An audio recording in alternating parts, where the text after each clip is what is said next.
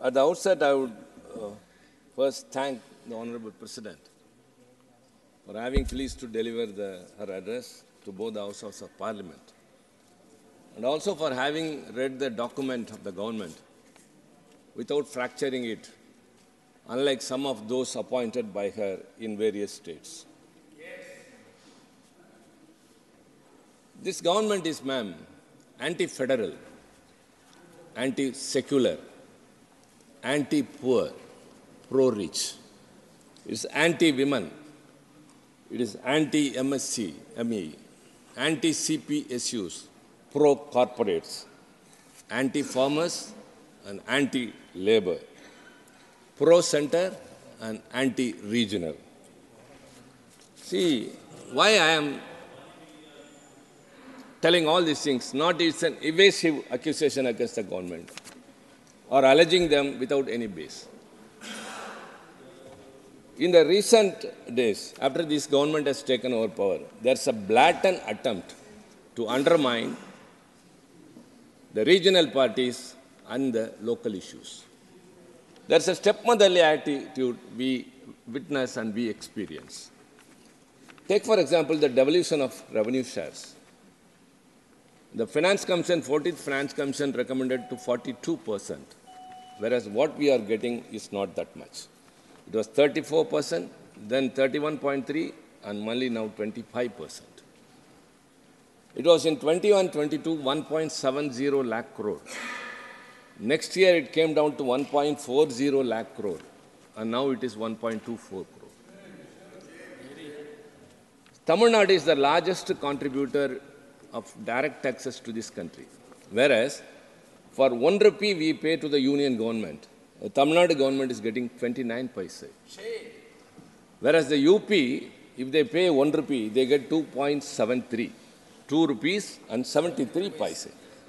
What is this disparity? Why this discrimination? You say the country is one. You say everything, all are equal. But why this sort of treatment? By way of this GST regime, the Tamil Nadu government has lost estimated to around 20,000 crore rupees.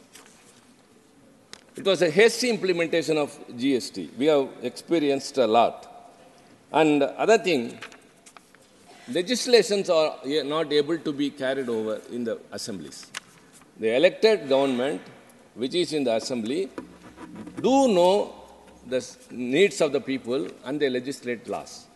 But the Raj Bhavan stand as a stumbling block, and many of the bills that have been passed in the assembly have not been accorded sanction or assent from the governors, and because of that, many state governments are limping, especially the opposition ruling parties.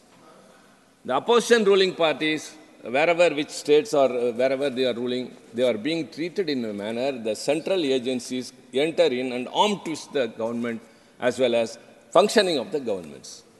And moreover, very importantly, recently there was a very bad uh, flood in Tamil Nadu, the torrential rains. Before that, there was a cyclone. Chennai and southern districts were affected too much. We demanded immediate for relief 5,000 crore. We were given only 450 crore, not even 10%. And later, overall estimate, say the uh, defense minister came to the spot and we, he, he, he, had a overall view of what happened there.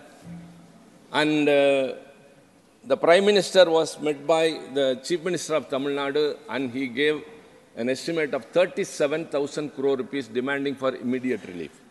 Nothing happened.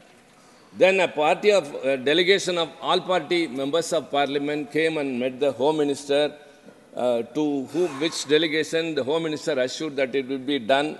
Nothing has been done.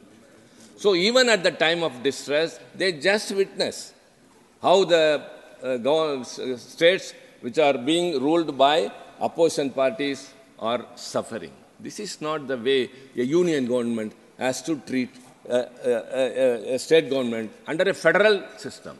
That is why I say it is anti-federal. It's not an just an alleging uh, an accusation against them, but it is the fact because of that. Take, for example, my neighboring state, the Andhra Pradesh. I have been hearing them for the past 10 years, cutting across all the political parties. After the uh, Andhra Pradesh Reorganization Act in 2014, they are demanding for special status to Andhra Pradesh. Polavaram project, it is very much acquainted to us. Nothing has been uh, taken care of because it is not ruled by BJP. For 10 years I have crossed by. They have asked for a special status and are still demanding it. It has not been acceded to. So this is the way states are being treated by the union government. We say it is not fair.